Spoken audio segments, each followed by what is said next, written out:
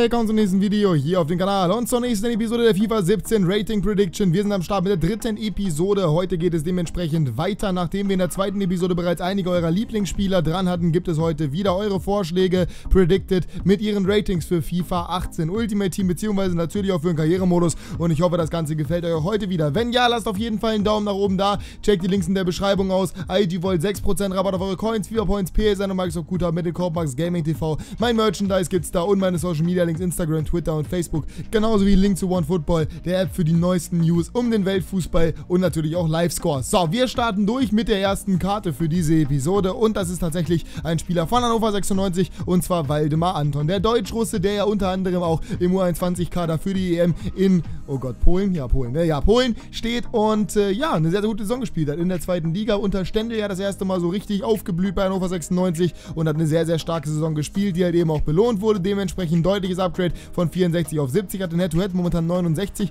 Ich könnte mir sogar 71 vorstellen oder 72 für ihn, einfach weil er wirklich sehr, sehr gut spielt, aber er ist deutlich underestimated, halt unterschätzt. Das sieht man auch an seinen Stats in FIFA momentan. Allein ist er 51 Tempo, das ist ein absoluter Scherz, der ist sowas von viel schneller. Der kann nicht umsonst auch 6er und Rechtsverteidiger spielen. 64 Tempo mindestens. 60 Dribbling, 60 Passen, 50 Shooting. Wie gesagt, er kann auch 6er. Der ist auch gut, was das Schießen angeht. Der hat auch ein gutes Passspiel. Das passt alles dazu. 72 Defending, 71 Physis. Sieht stark aus, finde ich. Gefällt mir gut. Und ich denke mal, der wird auch für den Karrieremodus ganz interessant sein. Ist ja noch jung. Und ja, ich freue mich auf Anton nächstes Jahr. Nicht nur in FIFA, sondern auch in der Realität. Ich weiß nicht, wie es euch geht. Aber gerade die 96 von euch dürften genauso viel. Schreibt es auf jeden Fall mal in die Kommentare. So, wir kommen zur nächsten Karte. Und das ist dann ein nächster Transfer in der Bundesliga.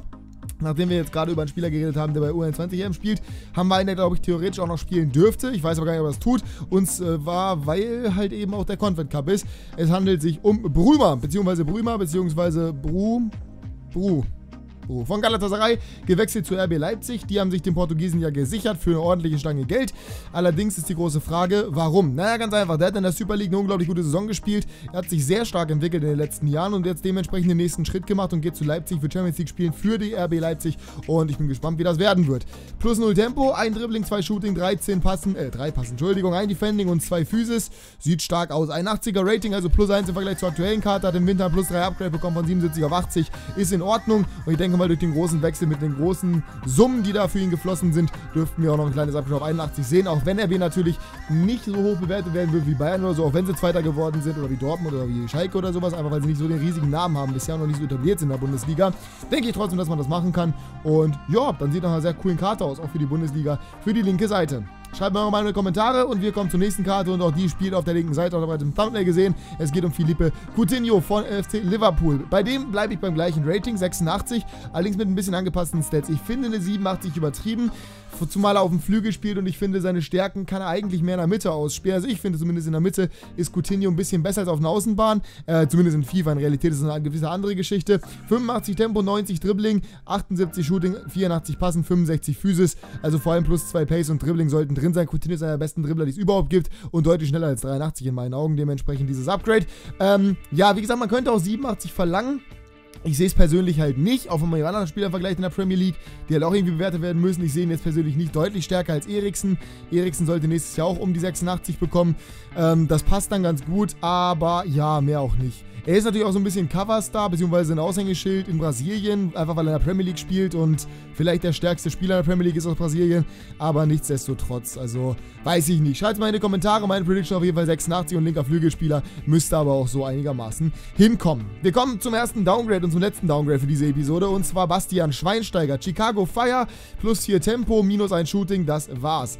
Der Overall einen runter auf 81 muss nicht zwingend sein, könnte ich mir aber theoretisch vorstellen, einfach weil er halt zu einem kleinen Verein gewechselt ist und weil er bereits in der Winterpause bei den Winter-Up- und Downgrades einen Downgrade bekommen hat von, seinem, äh, von seiner eigentlichen Karte bei Manchester United. Ähm, an sich hat er in der MLS bisher sehr, sehr gut gespielt. Hat jetzt nicht, oh, warum habe ich eigentlich Minus ein Shooting? Plus ein Shooting sogar.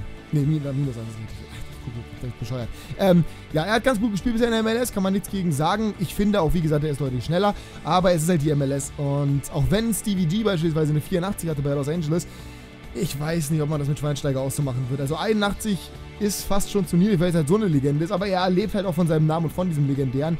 Ich denke, 81 wäre auch okay im Vergleich zu 82. Nicht das Größte. Aber schreibt mir eure Meinung in Kommentare. Vielleicht seht ihr es auch ganz anders. Vielleicht denkt ihr ähm, einfach, man muss den Maßstab der Liga nehmen. Jovinko hat auch 83. Pack Schweinsteiger auf 83 hoch.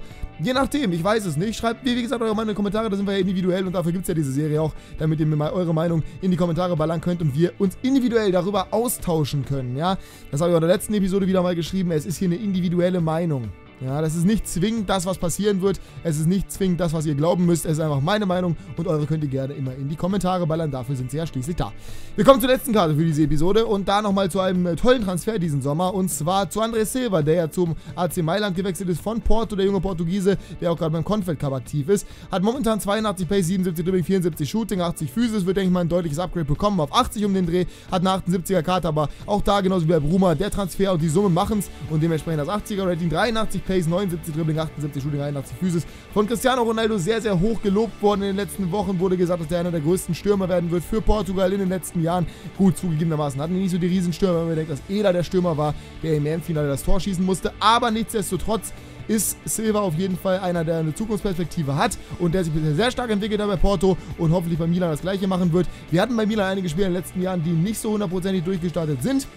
Das ist ganz klar, weil Milan halt auch teilweise seine Struggles hatte. Aber ein Lapadula hat sich ganz gut gemacht, ein Bakker ja eigentlich auch. Und äh, ja, gut, ein Luis Adriano ist ein Negativbeispiel. Aber nichtsdestotrotz, ich glaube, mit Silva wird das gut. Und er wird auf jeden Fall den Schwung, den Milan durch diese neue Finanzära mitbringt oder mitbekommt, mitnehmen und seine Entwicklung hoffentlich genauso fortsetzen, wie er es bisher gemacht hat. Er ist jung, er hat Potenzial und ich hoffe, das wird er ausschöpfen. Und die Karte FIFA 17 äh, FIFA 18. FIFA 17 sieht auch schon nice aus, auf FIFA 18 sieht sie richtig nice aus in meinen Augen. Könnt ihr mir gerne mal eure Meinung in die Kommentare schreiben. Und dann war es das von dieser Episode der FIFA 18 Rating Predictions. Wenn es euch gefallen hat, diese etwas schnellere Episode, beziehungsweise diese schnelle Variante, lasst auf jeden Fall mal einen Daumen nach oben da.